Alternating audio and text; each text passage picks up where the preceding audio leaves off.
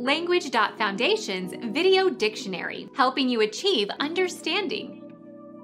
A festival featuring African American culture, celebrated between Christmas and New Year.